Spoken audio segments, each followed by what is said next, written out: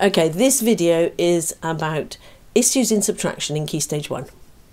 I think a lot of us teaching in Year 1 or Year 2 do find that there are some issues when children start to get into subtraction. They're fine with addition, throw a subtraction sign in, they start to get a bit wobbly.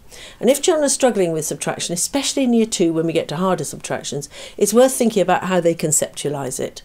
A related question is whether or not we want children to do something like 58 subtract 32 in the same way that we want them to do 51 subtract 47. So, taking those things, how can we help children not to struggle with subtraction? How can we move them on if they're having some conceptual difficulties here? I think the first thing to understand is that subtraction is two concepts.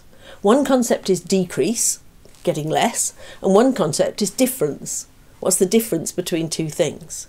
So, with very young children, we want to match those two conceptions, decrease and difference, with the two methods, the two strategies for doing those things. So, we use counting back to find out how much less something is, and we use counting up to find the difference between two things. So, with very young children, we've got a crocodile, we've got seven fish, and the crocodile eats three of them. How many have we got less? We're going to count back from seven. We've got seven. He eats one, two, three fish. We've got four left. Okay? And that we do that, and we also do the inverse. So you take away three fish. Let's imagine we haven't eaten them. You put them back, one, two, three, and you've got your seven again.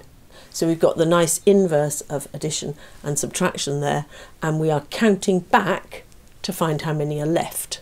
Also, we have with young children the very basic notion of difference. He's got six sweets, I've only got four. I'm going to cry. How many do you have to give me to make me happy?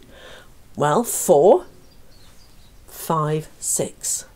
So you have to give me another two. And what I am doing there is I am counting up.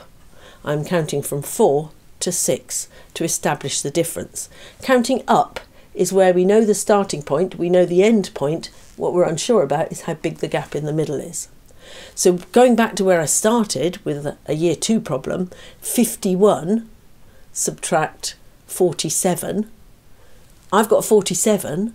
How much more do I need to have 51? 47, 48, 49, 50, 51. I am counting up. By contrast, if I'm subtracting 3 from 47, I need to be counting back. 47 subtract 3, 47, 46, 45, 44. I am counting back. I should know at this stage that 3 off 7 leaves me with 4, so I should be using a number bond to get that answer. So understanding that subtraction is two concepts and that we use one concept for taking away, for decrease, and one concept is finding the difference or counting up.